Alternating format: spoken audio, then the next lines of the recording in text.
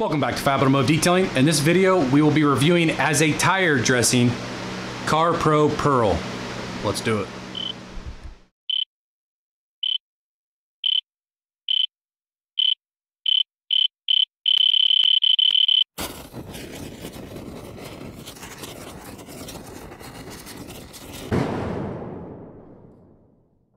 So I saw on Pan the Organizer uh, on one of his videos, he he reviewed CarPro Perl. He showed him using it, and I really love the finish on CarPro Perl. And because I'm a satin finish guy, I don't like the over, uh, really really shiny tires. That's just not me. I know other people do, but I just don't like that. But I like that it's dilutable, and you can use it on the like engine plastics, the interior, your dashboard. You can use it on pretty much almost anything.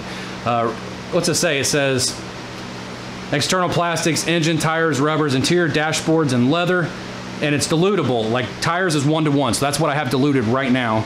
And then internal, external plastics one to three, engine one to one or one to three, uh, dashboard one to five. So you have to have several different bottles to mix, get your mixture that you want. But I bought this off Detailed Image, and by the way, I do have an affiliate account with Detailed Image where you can get 10% off your entire order. Doesn't matter what you buy. If you use the product code or the code down here, I'm gonna put at the bottom of the screen. It does help the channel out. I don't get cash. They give me money to put towards more items on their website. So if you guys suggest products, and I have enough money in the account, I can buy it.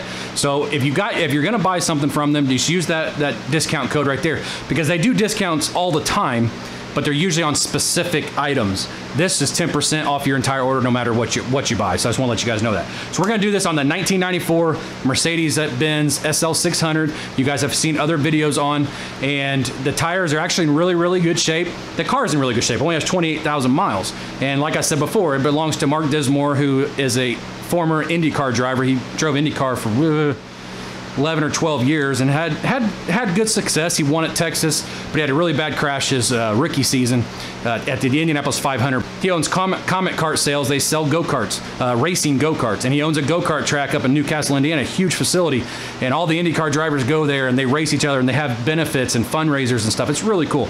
Um, I, I, know I've already told you guys that, but I, in case you didn't see those videos, now you know whose car this is. It, it doesn't get driven very often. It's got 28,000 miles on it. So we're gonna we're gonna do it on the right rear tire because I got the best light right there and the car's pushed all the way forward because I just got done waxing it and I don't want to start it up again in the garage with the exhaust fumes and move it back. So we're gonna do it on that tire and then I'll put on all the tires and then we'll come back and I will show you what the results are. The background noise you're hearing are fans. It's about 90 degrees outside, 80% humidity, and I was detailing the car and I was getting dust all over with the garage door open, so I had to turn all my fans on. So that's the noise you're hearing in the background.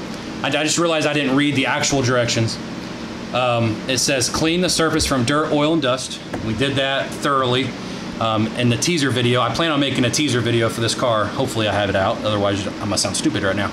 Um, thoroughly cleaned them, we waxed the wheels, everything, everything's good to go there. Dilute Perl with water, and then it tells you external plastics, engine, tires, rubber, interior dashboard leather, pour and spray bottle, and shake. Spray spray over dedicated surface, which I'm not spraying. I'm just gonna, I'm gonna you guys will see how I'm gonna do it. Uh, wipe off with microfiber tires. Rubber can be applied with sponge applicator. Now I'm not going to wipe it off with the microfiber because I want to see if it dries to the touch. That's that's what I want it to do. Now I've already diluted it. I bought a ketchup bottle. Detailed Image sent me these stickers when I made my very first order, so I put them on here. Um, one to one tires. I bought a ketchup bottle from Walmart for like 97 cents. We'll see if I like it. I may not even like it. I don't know.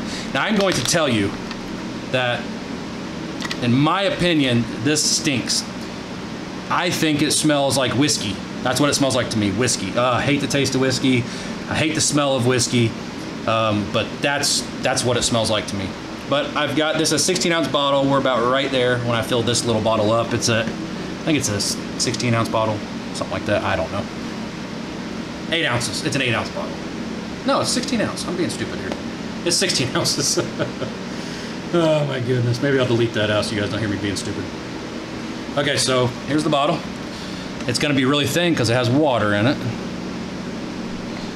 I bought these applicators from Shiny's Details. Oh, yeah, it's very, very thin. Maybe I do need to spray it on.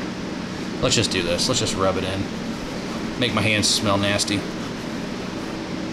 Ugh. I do not like the smell.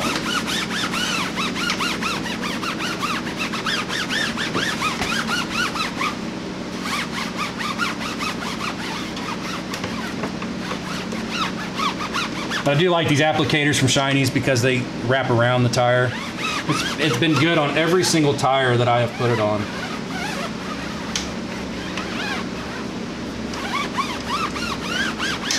See? That is a very nice satin finish. Let me show you. I may have to find a different way to apply this because that bottle probably ain't gonna work. We're gonna see if it will uh, come down a little bit. I can deal with that. It's a little bit too shiny for me, but that's not bad at all. At all. So what I'm gonna do, let me get my phone. So I'm gonna go around and do the rest of the tires. Hopefully I remember to show you when I get off the phone. It is 410. We'll see how long it takes to dry, and we'll see if it dries to the touch. It's 422, so it's been 12 minutes.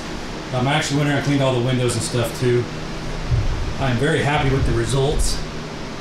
The tires look absolutely fantastic. Make those wheels really stand out.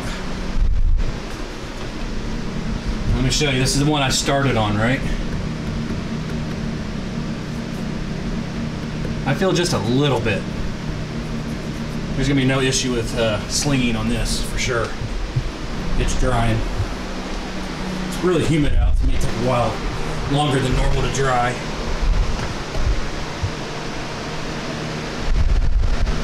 They all look really good. I gotta make an ending to my other video, so I'll use the same ending and I'll just show you guys it without the crazy music and stuff like that. I'll show you what tire shine looks like outside. But I'm really, really happy with it. Car turned out great for a 25 year old car.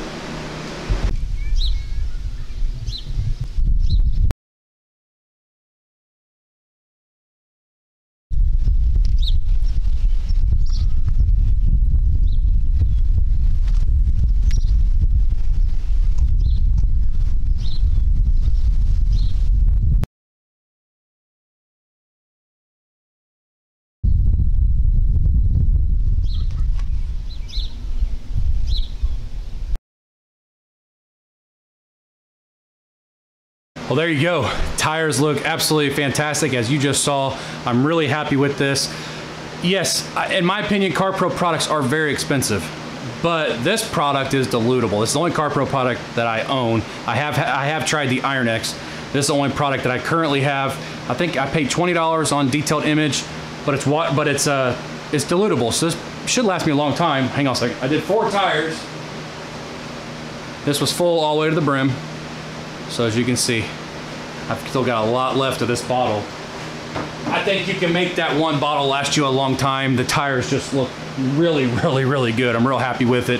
Easy to apply. Now, my bottle that I chose to try to dilute it with, I gotta find something else. Maybe next time I make a detailed image order, I will, they have uh, empty CarPro Perl bottles, so you can dilute your products. That's probably what I'll end up buying next time I get something off detailed image but I'm really, really happy with this as a tire shine. I will make other reviews on it as using it in the car, as a dressing in the engine bay and stuff like that, but this was just for tire shines. So I hope this video was helpful for you guys. If it was, give me a thumbs up, hit that subscribe button while you're down there, ring that bell so the next time I upload a video, you get notified. And don't forget, every Saturday night at 9 p.m. Eastern Standard Time, we go live and I like to see each and every one of you there.